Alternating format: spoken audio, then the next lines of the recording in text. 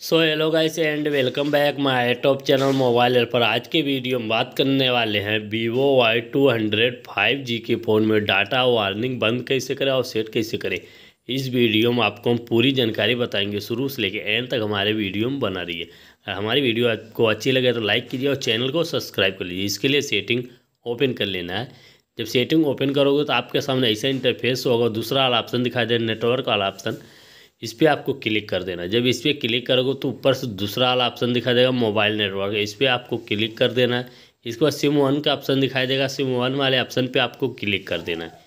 जब इस पर क्लिक करोगे तो आप में डाटा यूज़र्स का ऑप्शन दिखाई देगा। डाटा यूज़र्स पे क्लिक कर देना है।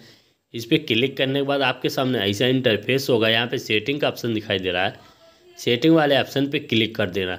सेट डाटा वार्निंग का ऑप्शन दिखाई दे रहा है।